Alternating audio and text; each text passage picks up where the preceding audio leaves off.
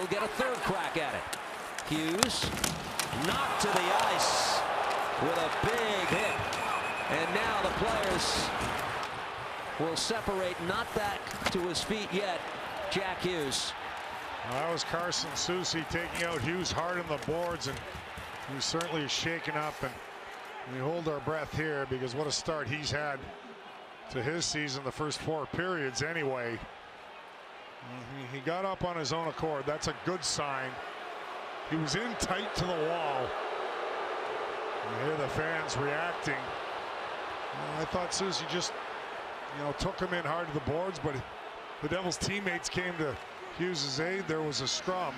We'll have to take a look at it again. I don't think there was anything malicious. He was just in a in a vulnerable position close to the wall there. We see it there.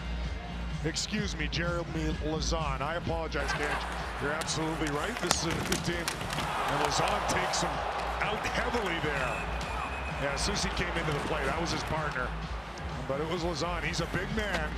And he finished Hughes hard. Jack got himself in a little bit of a vulnerable position as he battled to get that puck off the